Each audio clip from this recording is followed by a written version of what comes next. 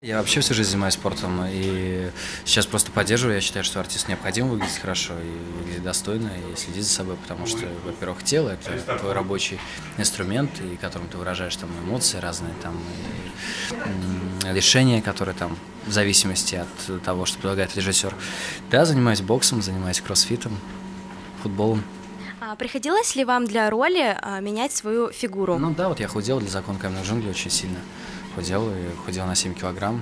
Вот, как-то так, если будет э, картина, где надо пополнять, я пополняю.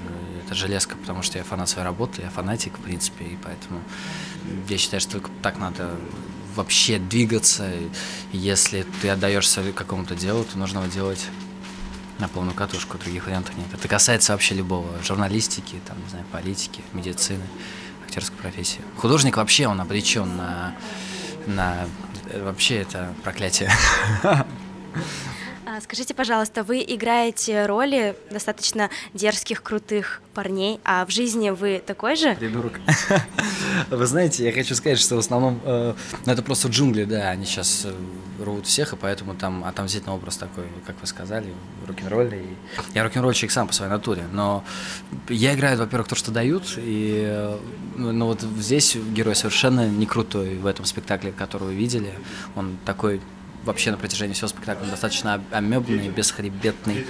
Ну вот, поэтому, поэтому вот как-то так.